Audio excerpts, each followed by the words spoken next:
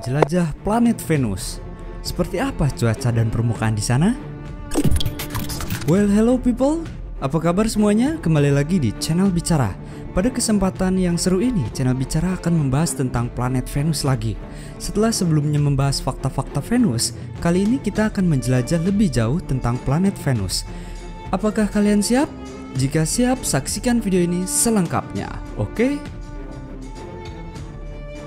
Tapi sebelum lanjut, ayo bersama-sama kita dukung channel Bicara dengan menekan tombol like dan subscribe dan juga loncengnya agar tidak ketinggalan informasi yang seru. Dengan mensupport channel ini, kamu juga membantu banyak orang untuk mendapatkan informasi yang bermanfaat. Oke?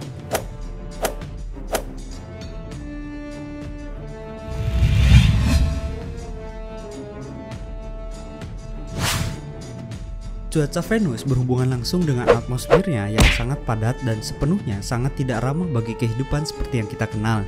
Dan karena kepadatan atmosfernya, suhu rata-rata permukaan Venus cukup panas. Untuk melelehkan timah mungkin sudah cukup.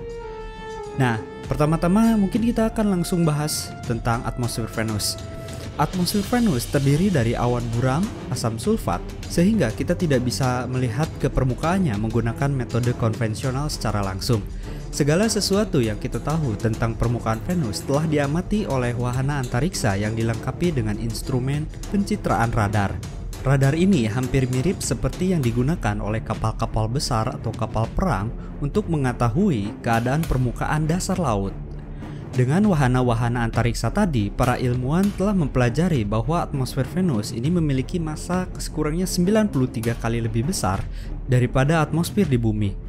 Dan tekanan udara di permukaan diperkirakan setinggi 92 bar atau 92 kali lipat lebih kuat daripada tekanan dasar laut di bumi.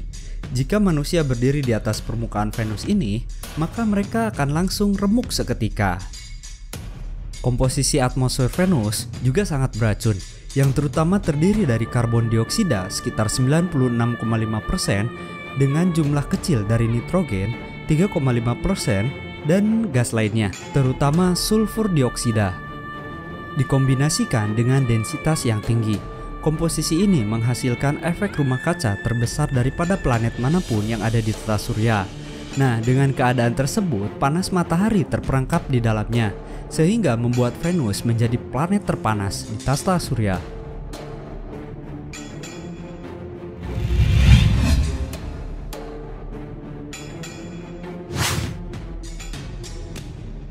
Fenomena cuaca Venus Cuaca di Venus adalah salah satu aspek dari planet ini yang diteliti secara konsisten oleh para astronomi dan ilmuwan melalui teleskop berbasis darat di bumi dan misi wahana antariksa ke orbit Venus.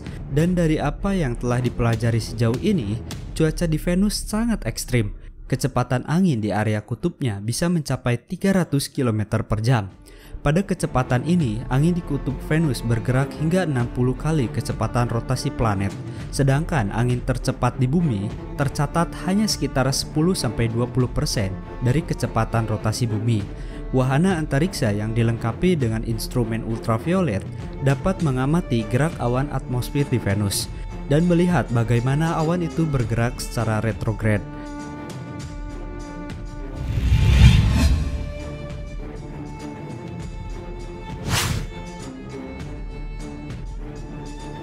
Jadi, pertanyaannya seperti apa cuaca di Venus? Jawaban singkatnya mengerikan. Jawaban panjangnya, cuaca di Venus adalah sangat panas. Terkadang udara sangat tinggi, ada angin yang sangat kuat, sering terjadi hujan asam sulfat, dan terkadang muncul badai petir akibat letusan gunung berapi. Yang jelas, planet ini sangat berbahaya dan tentunya cocok sekali untuk membuang mantan-mantan kita ke planet ini. Ya, jangankan untuk tinggal di sana. Kalian berdiri saja tanpa berdosa gitu, kalian sudah hancur. Gimana mau tinggal? Apalagi hujan di sana bukan hujan air, melainkan hujan asam sulfat atau air keras. Bisa kebayangkan hujan air keras kayak gimana? Bisa dibilang juga planet Venus ini adalah neraka sesungguhnya karena keadaannya seperti itu. Nah, mungkin untuk video kali ini cukup sampai di sini dulu oke? Okay? Jangan lupa untuk subscribe bagi yang belum subscribe karena video selanjutnya akan lebih seru lagi dan bikin kalian penasaran. Oke, okay, terakhir terima kasih sudah menonton video ini dan sampai jumpa kembali di video-video astronomi lainnya hanya di channel Bicara. Bye bye.